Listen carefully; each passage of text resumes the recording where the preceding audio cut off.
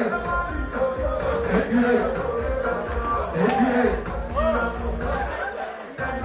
Première fois dans l'histoire du football béninois, les écureuils du Bénin ont réussi à siffler la fin d'une malédiction historique en battant les Lions de l'Atlas en huitième de finale de la Coupe d'Afrique des Nations Cannes Égypte 2019 sur un score de 5 buts à 2 aux sciences des tirs au but. Un résultat qui arrange ces derniers car ils affronteront le Sénégal qui a aussi assuré sa qualification pour les quarts de finale. Dans les rues de la ville de Parakou et même dans les bars et restaurants, les supporters béninois manifestent leur joie. Ce qui s'est passé aujourd'hui, c'est presque un miracle parce que on ne s'attendait pas à ça.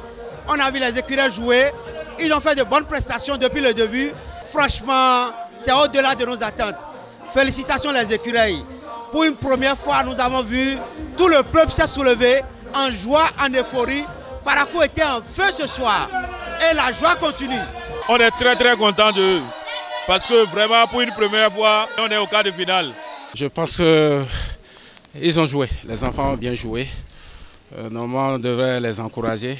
On devrait même construire un musée pour eux, pour pouvoir mettre les photos, tout ce qu'ils ont porté pour jouer, pour que ceux qui viendront après ceux-là vont prendre l'exemple sur ceux qui ont joué ce soir-là. Après cette qualification, des fans du football dans la cité des Kobourou espèrent encore de la part des écureuils du Bénin. Avec euh, ce qu'on vient de constater, il n'y a rien qui puisse encore bloquer les écureuils. Nous irons en finale. On sera en finale, ça c'est confirmé.